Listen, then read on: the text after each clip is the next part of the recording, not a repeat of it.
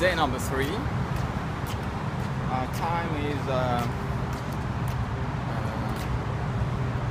my goodness, mine is not working. 30 past 2. 2:30 p.m. okay.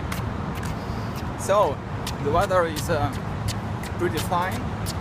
23 centigrade, and it's cloudy. Sometimes uh, a little drizzling. It's uh, such a difference from previous day, and pretty comfortable. And yeah, the transition is going on. Transition period. Uh, in my case, for sure. But today I feel much better. And what I would say,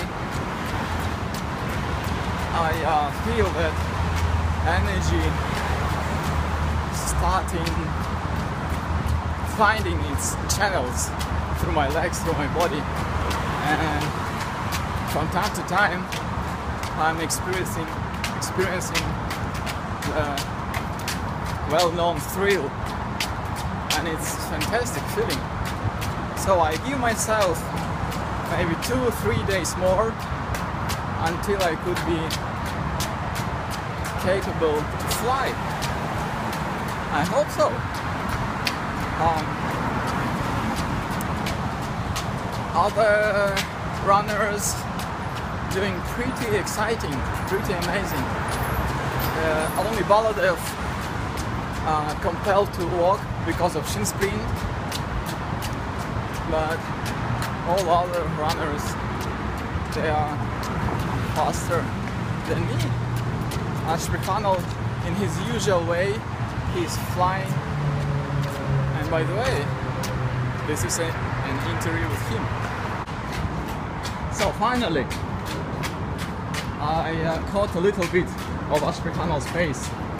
Actually he dramatically slowed down for me to give a little interview. Uh, Ashprihanal, what is your secret of flying? Tell us. It's the hands. You have to, you have to keep moving the hands. Sometimes like this, sometimes like this, like a bird, and, and then like a penguin. And, uh, yeah, that's it. That, that, That's yes. it. It's all about the hands and also about being loose. And I'm being loose. You know, if you're really stiff, your mind is stiff, your body is stiff, your legs are stiff, then you cannot really fly. Wow. Amazing.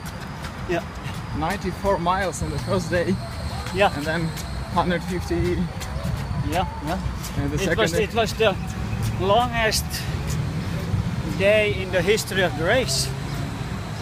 Second best is Ed Kelly. That was a long time ago. So nobody has ever done 94 miles in one day here.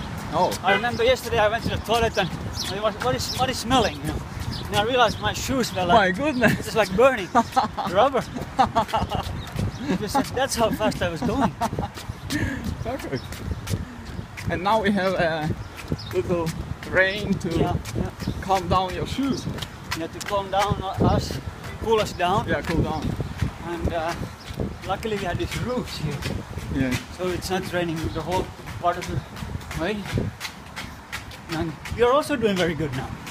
Well, it's better and better, Yeah. and I hope that in like in two or three days, I will join the flight club. Flight, oh, good, good. And you're pretty good with the hands also. yeah. Thank you. Oh, yeah, yeah.